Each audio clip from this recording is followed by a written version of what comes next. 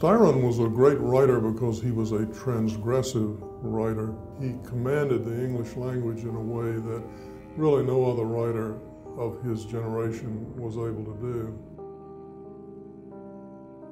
In Sophie's Choice, Styron was attacked and even vilified, though his point in that novel was that the Holocaust was not simply aimed at the Jewish people, but that all humanity were targeted by the Nazi final solution.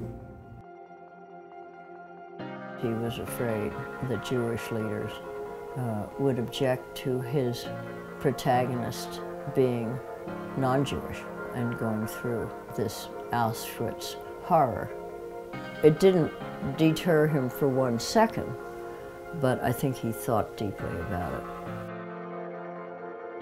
In the end, he left us with some very strong, very complex novels about race and about genocide.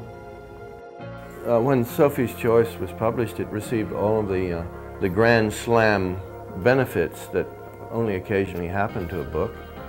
It was very satisfying to me to know that I had written a book of pretty high literary quality, but which had one that had a kind of universal appeal and would be read by many, many people.